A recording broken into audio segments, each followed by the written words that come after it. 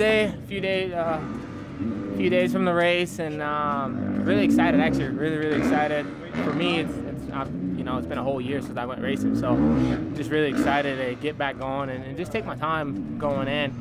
Um, feel pretty good today. We're you know it's been five days since we've been off, so a little arm pump, but you know that's normal when you haven't ridden that while. But overall, feel pretty good. We did a 20. I mean, there's really nothing to be said. You know, I feel really ready, excited, but I mean, at the end of the day, once we go racing, that's whenever, you know, who stands apart. But as far as practice laps, I think we've done enough laps. Just time to go racing and just enjoy it. Um, like I said earlier in this conversation, it got taken away from me last year, so I didn't really get the experience and have fun with it. But it's amazing how much you miss it whenever you're out, you know. So happy to be back be good to be around be good to be around the team riders ready for that pressure excitement nervous you know that's what we live for and um, the reason why i'm still racing you know i live for that moment.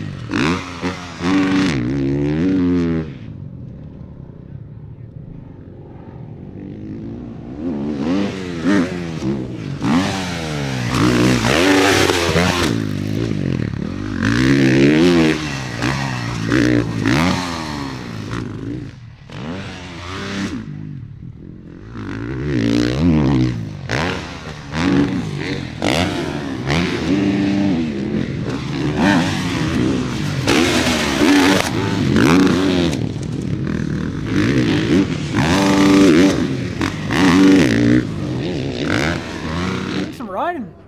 All the boys are out here today. All the teams. It's good to have some noise out here. I've been out here for a couple weeks. It's been a little quiet, but yeah, good to have everyone out here. It feels kind of like Anaheim's coming. So yeah, it's really cool. Yeah, I did a lot of testing um, before the season. Um, obviously, you know, with my injuries this year, I didn't have a lot of time to you know do the testing and things I wanted to. I tried everything, and this was my favorite uh, favorite spec. So this is where I'm at. I'm really comfortable on the bike right now, and uh, only time will tell. But uh, yeah, we'll see. I'm uh, I'm enjoying it. How's dad life, Dennis? The Oh of the way. man, it's awesome. Uh, I love it. It's so much fun. Uh, definitely, it's challenging sometimes. It's like it's hard. You have to learn like you have to. You're, you're this athlete and you you're selfish and you do all this stuff and then when you have a kid everything changes and uh, it's definitely a learning process but it's a lot of fun I wouldn't uh, wouldn't change a thing I, absolutely love it he's awesome They look good. They seem good. They just gotta believe in ourselves, you know. I think things should be good though.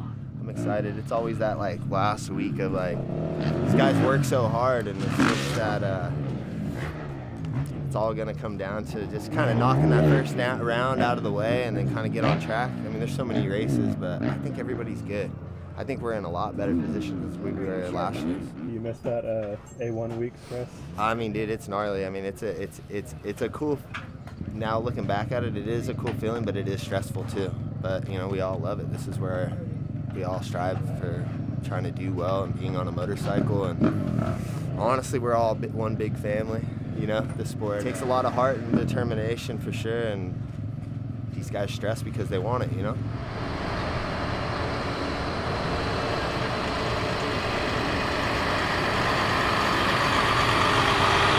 Uh, I've been out here since Thursday.